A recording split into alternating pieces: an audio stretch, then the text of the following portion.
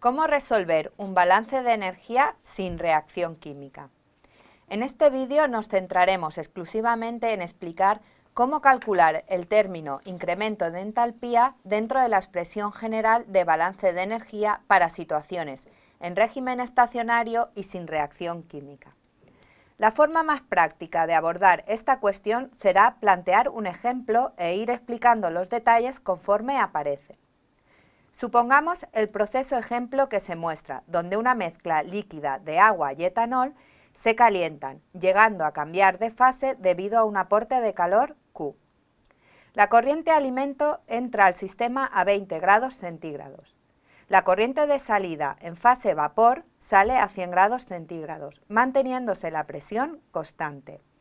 Se supone que el hecho de mezclar componentes no causará un aporte o retirada significante de calor a la mezcla. El cálculo del término incremento de H dentro del balance de energía para sistemas abiertos se obtiene a partir de la ecuación que se muestra. La explicación que aquí se da está destinada a alumnos de primer curso de Ingeniería Química, así que se expondrá de una forma muy estructurada para que el alumno coja la sistemática. Por esta razón, es conveniente rellenar la siguiente tabla para ordenar el cálculo que va a tener lugar. Se escribirán las sustancias que intervienen en el proceso y la fase en la que están. También el estado de referencia que se elegirá para este cálculo.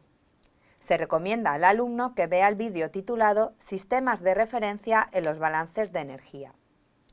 Luego se dispondrán columnas donde se indicarán los flujos de entrada y salida y sus entalpías específicas que habrá que determinar. Aquí se muestran ya completadas las celdas del balance de materia, es decir, se han escrito los flujos molares de cada componente en su celdilla correspondiente. Es importante advertir que debe haber una fila distinta para cada fase de un componente implicado. Aquí se ve cómo hay una fila para el agua líquida y otra para el agua vapor. También una fila para el etanol líquido y otra para el etanol vapor. Así, esta tabla, construida para dos componentes, necesita cuatro filas. Sin embargo, el estado de referencia es particular para cada sustancia, así que solo se necesitan dos celdillas, una para el estado de referencia del agua y otra para el del etanol. Recuerda que el estado de referencia está fijado por cuatro características que son qué sustancia, en qué fase, a qué temperatura y a qué presión. Tal y como se observa en la fórmula que debemos aplicar, el flujo molar de entrada se multiplicará por su entalpía específica y lo mismo para la salida. Por tanto, los valores de entalpía específicas que van a multiplicarse por cero no se calcularán, aunque se podría, ahorrando así esfuerzo y tiempo. A estas celdas les pondremos una cruz. El valor de la entalpía específica se obtendrá a partir del sistema de referencia escogido para cada problema en particular. Los sistemas de referencia se eligen diferentes para distintos problemas, con el fin de simplificar el cálculo de entalpía específica que va a tener lugar. En general, se puede decir que si no hay reacción química, los datos de entalpía específica se pueden obtener de dos maneras. Se pueden leer directamente de una fuente bibliográfica, como una tabla o una gráfica, o se pueden calcular a partir de una referencia que se fije. Obviamente la opción 1 es la mejor, puesto que no hay que hacer cálculo, simplemente hay que leer un valor y anotarlo en nuestra tabla. Para este caso, la referencia ya está fijada. Será la referencia que eligió el autor de la tabla o de la gráfica. En la opción 2, la referencia podría fijarse en cualquier punto. Se puede elegir el compuesto que aparece en el problema en cualquier fase y a cualquier temperatura. Puestos a elegir, se opta normalmente por las condiciones de entrada o las de salida, para así evitar cálculos.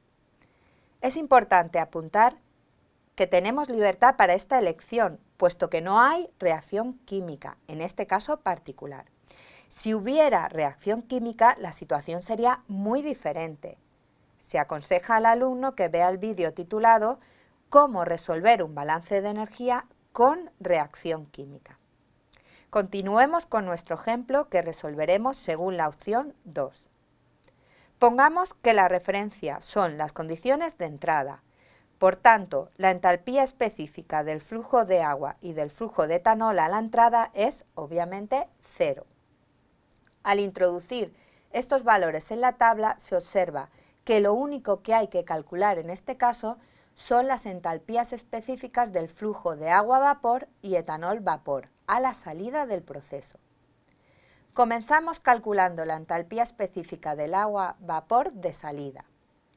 Vemos que desde el estado de referencia al de las condiciones de salida hay dos diferencias, la fase y la temperatura. Habrá que buscar un camino alternativo. De todos es sabido que el agua a presión atmosférica hierve a 100 grados centígrados.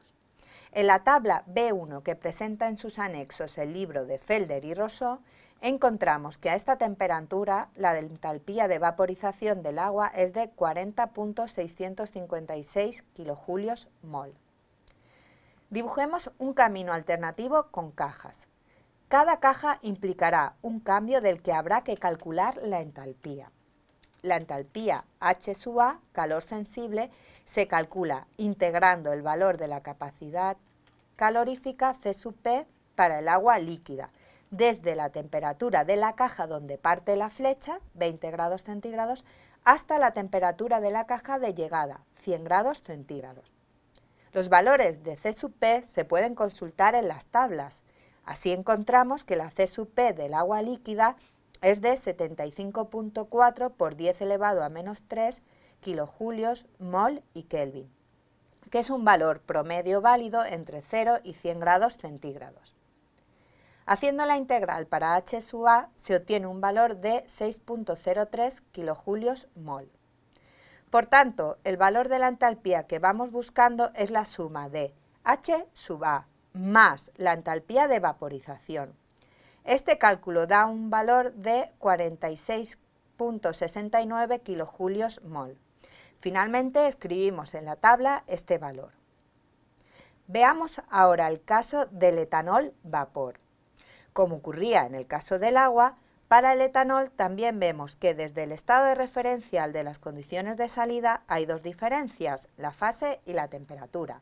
Habrá que buscar un camino alternativo. Busquemos en las tablas algún valor sobre la vaporización del etanol.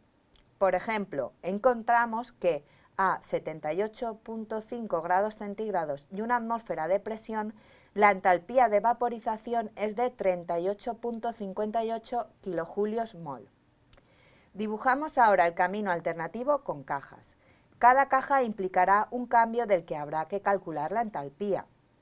La entalpía H sub A calor sensible se calcula integrando el valor de C sub P para el etanol líquido desde la temperatura de la caja de salida, 20 grados centígrados, hasta la temperatura de la caja de llegada, 78.5 grados centígrados. La entalpía H sub B, también calor sensible, se calcula integrando el valor de C sub P para el etanol vapor, desde la temperatura de la caja de salida, 78.5 grados centígrados, hasta la temperatura de la caja de llegada, 100 grados centígrados.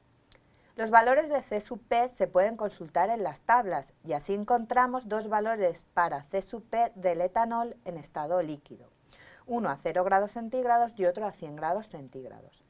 También encontramos para el etanol vapor una expresión de C sub P en forma de polinomio, cuyo rango de validez de temperatura es de 0 a 1200 grados centígrados. Para el cálculo de H sub A del etanol disponemos de dos valores de C sub P a distintas temperaturas, 0 y 100 grados centígrados. Nuestro cálculo integral comprende entre 20 y 78.5 grados centígrados. Llegados a este punto, y en el caso de que no dispongamos de otras tablas, habrá que hacer algún tipo de suposición. Si el cálculo no requiere de mucha precisión, se podría tomar cualquiera de los dos valores. Otra opción más precisa es calcular un valor medio representante del intervalo de cálculo. Por último, otra alternativa es suponer que entre los dos puntos hay una relación lineal y hacer uso de la ecuación para C sub P que pasa por los dos puntos en cuestión. Hagamos uso por ejemplo, de esta última opción. Haciendo un cálculo sencillo, es decir, resolviendo un sistema de dos ecuaciones con dos incógnitas, obtenemos la expresión que se muestra para C sub P. Haciendo ahora la integral para H sub A, se obtiene un valor de 7.64 kilojulios mol. Haciendo lo mismo para H sub B, nos resulta un valor de 1.61 kilojulios mol. Por tanto, el valor de la entalpía que vamos buscando será la suma de H sub A más la entalpía de vaporización más H sub B, siendo el resultado igual a 47.82 kilojulios mol. Y este valor finalmente lo llevamos a la tabla. La tabla ahora está completa y ya se puede hacer uso de la ecuación para el cálculo de delta de H, siendo el resultado final de 4.737 kilojulios hora.